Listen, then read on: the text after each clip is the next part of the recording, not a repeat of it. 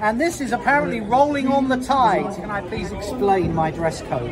Yes. Having arrived yesterday morning into the uh, Mobile airport, I discovered that a certain, a certain airline, which I will not mention because we are all united together on this, decided to send my luggage to another part of the United States of America. So I went to the gift shop at the airport and bought the only thing that fit me.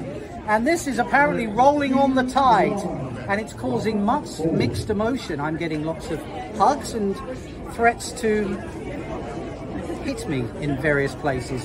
And um, that's why I'm wearing what I normally would be wearing would be an Armani suit. And yes, they do them in my size. And I'm here, regardless of what I'm wearing, to celebrate this very special special moment. I've been with the company for um, 35 years and the ship behind you, Carnival Ecstasy, was um, a ship where I was a cruise director on board in 1993 and the relationship I have with the ship and with this wonderful, wonderful city is something that I wanted to make sure I came back to celebrate. So I've got about 1800 of my um, people who like to, doesn't matter, uh, they've driven, uh, they've flown um, from as far as Canada.